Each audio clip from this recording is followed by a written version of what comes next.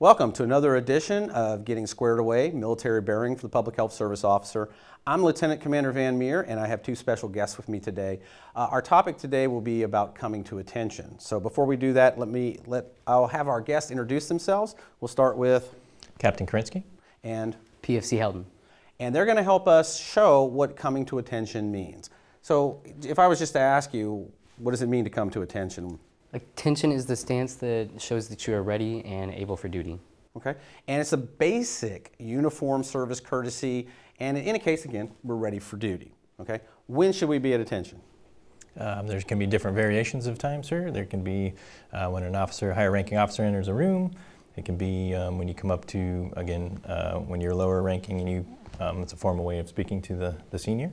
So when are some other times that somebody might come to attention? So some other times that you would go to attention is when a senior officer enters into a room, uh, when the national anthem is being played. Okay. So now I think what might be an example of is if we can show the differences of what that looks like. Okay. So if somebody was to say, uh, come to attention, what would you guys do? Okay. And if we were to say, at ease, and then the next command we could get would be as you were.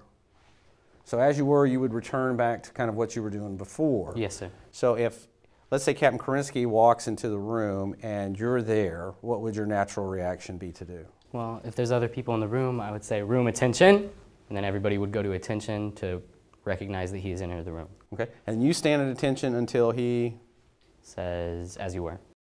Yep, as you were, sir. As you were. Okay, and also when we're talking to a superior officer, what do we usually do? You speak to them at the position of attention to show respect. Okay.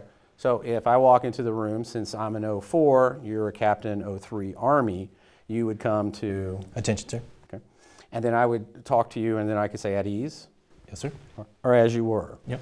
Okay. Correct, uh, we can also call people to attention if, for instance, if you're walking on post and somebody doesn't, uh, a junior doesn't salute you, you can actually walk up to them and put them in attention and you can explain to them that you are a United States Public Health Service officer and that uh, you are required to salute us.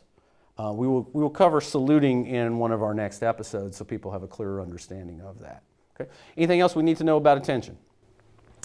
Um, I don't think, sir. I think uh, just the other one is, again, when a senior officer comes into a room, it's uh, important to recognize that they're um, their rank and their what they've done. And so again, you would call the room to attention as well, sir. Yeah. Uh, again, uh, what we usually say is we say attention on deck. All will stand if the junior, and if you're a junior officer who is the first to see a superior officer walking in, you may say something like, ladies and gentlemen, the Surgeon General, upon entering the room, the senior officer will say, as you were.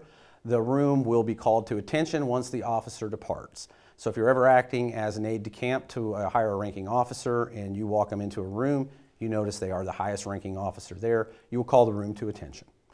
Thanks. We'll see you next time.